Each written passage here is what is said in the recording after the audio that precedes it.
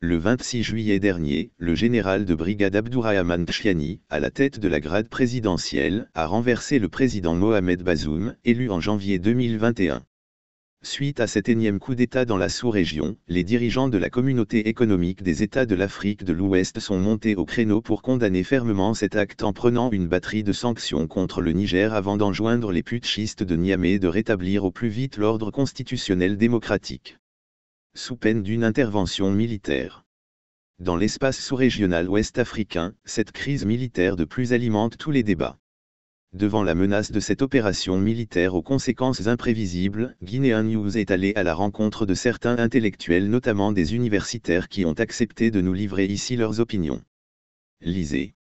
Dr Bangali Kamara, ancien décigramme de l'Institut d'information et de la communication de Kuntia, estime quant à lui que la menace d'intervention de la communauté économique des États indépendants de l'Afrique de l'Ouest au Niger est inappropriée et exhorte l'institution à privilégier le dialogue.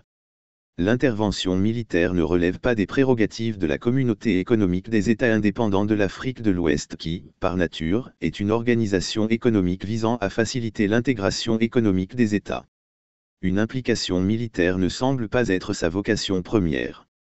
Sinon, elle aurait dû agir dans d'autres zones de tension dans la sous-région. Le fait qu'il y ait eu un coup d'État ne devrait pas la pousser à se comporter en gendarme régional en décidant de rétablir l'ordre constitutionnel au Niger. Pour ma part, je crois qu'il faudrait privilégier le dialogue et la diplomatie pour résoudre cette situation. Il n'est pas juste de sanctionner tout un pays, toute une population, simplement à cause d'un petit groupe qui a décidé de prendre le pouvoir ces sanctions ne pénaliseront pas seulement ce groupe, mais infligeront des souffrances au peuple en général. La communauté économique des États indépendants de l'Afrique de l'Ouest n'a pas besoin de montrer sa puissance militaire à ce stade. Elle devrait plutôt s'engager dans la voie de la diplomatie, chercher à comprendre les réalités propres à chaque pays, et déterminer les mesures à prendre pour un processus de résolution pacifique avec moins de perturbations possibles. Après tout, les militaires nigériens ont pris le pouvoir sans effusion de sang ils ont simplement placé le président en lieu sûr.